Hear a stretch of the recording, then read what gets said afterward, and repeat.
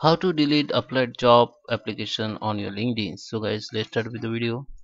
Uh, before we start i request you if you like this video hit the like button subscribe my channel and don't forget comments below. So here uh, first you have to uh, when you applied your job you have to check the application form. Just click on jobs here and you will see the my jobs uh, option. Just click on it and here you can see the two options which one which you posted job and you applied job. So this is your application job. I just apply for this job. And if i click on the three dot here you can't see the delete option.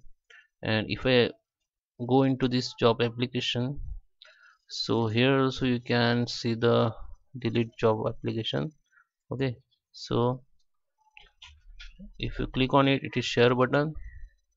And here also you can't find the delete option. Okay so simply guys when you applied uh, when you applied any job on linkedin so you can't delete it or can't revoke it okay? So when you got call from interview when you got the call from interviewer so you can simply say i'm not interested or you got the you know, another path or you got the job. So there is no option you can delete but you can attend your interview employer call and uh, tell them that you're not interested. So i hope you like this video. Thank you for